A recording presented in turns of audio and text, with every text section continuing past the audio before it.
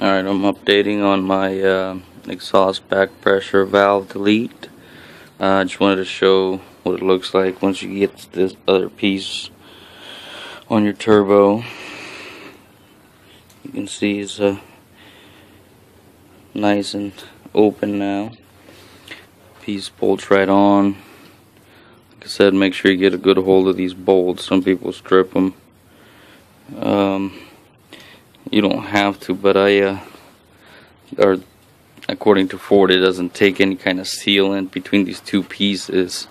It's kind of a machined uh, surface on both sides but I got some high heat um, silicone and I just put a very very thin layer on it and uh, cleaned any excess on the inside uh, I mean, there's nothing after this, so if any of it does come off, it's just going to go out the tailpipe. So, um, getting everything kind of cleaned up so I can start putting stuff back in.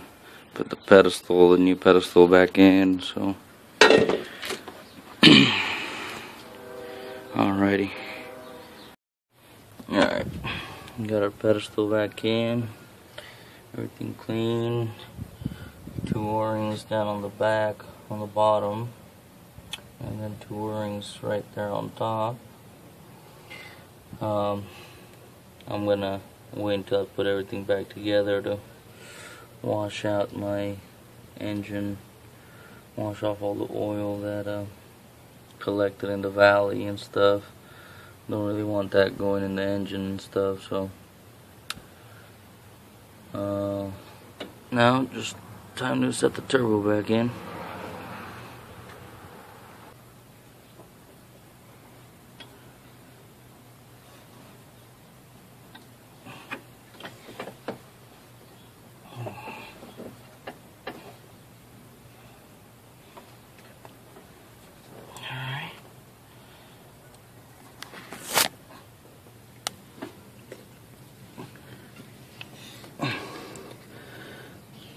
Pretty close. That part, that Y can move around a little bit to be able to get it all the way up and sealed.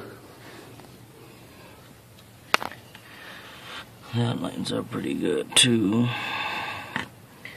So now I just gotta tighten up those bolts. Put the exhaust clamps back on and then slowly reverse the process. Okay. Alright. Got the turbo tightened up. I got the back exhaust clamp put on. Mm, that exhaust clamp can be kind of pain in the butt to put in, even to get out but you gotta see this right here where this is. Right there. You gotta you want like that on the back one back this not all the way to the edge right here. Then you gotta kind of spread it just a little bit and then you I'm gonna go on the back side and kind of swoop it in you pop it up and then once you get it popped up all you gotta do is you just do this and pull it. Like this kind of hard to do with one hand. You pull it and then you do this. Once you do that then you can just tighten it up on the back. Make sure you get it nice and tight I mean, don't go too tight. These things, nuts right here, strip out if you go a little, if you go too tight. But this is the one on the, the one that goes right there. But it's the same exact clamp, just this one's a little bit bigger. Same design though. Put that one on and keep on going. Alright. It's almost all put back together. I'm just got a couple intake pipes. also I wanted to uh, say once you're in here there's uh, also a couple other things you could do like the intake pipe or the intercooler pipe that goes from the turbo to the intercooler uh, a lot of these 7.3s it's wrapped with a foil you can um, do a foil delete which is just taking the foil off the pipe and then cleaning it up. I'm actually gonna do mine. You can see all you do is just rip all this aluminum off. It's just there for sound control. Doesn't really need it. You might hear your turbo spool up a little bit more as long as you don't mind the noise but it'll look a lot cleaner. Okay.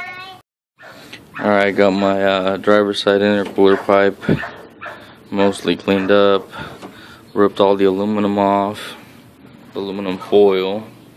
And then I uh, used one of these push blade scrapers and just kind of did that. I got the rest of the um, insulation off just a little bit of glue left but I'm sure you could just rub it off with a some uh, brake clean or uh, possibly even some sandpaper just really lightly.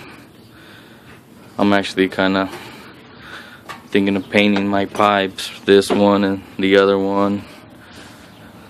Make it match my uh, hood or uh, engine cover. Alright finally got her done. That's what she looks all done. I did uh, the exhaust back pressure valve delete. Put a new pedestal in it. Cleaned up all my stuff. Figured once I was in here I uh, I took all the aluminum foil that they put on this downpipe right there. It uh, it's just on there to reduce sound.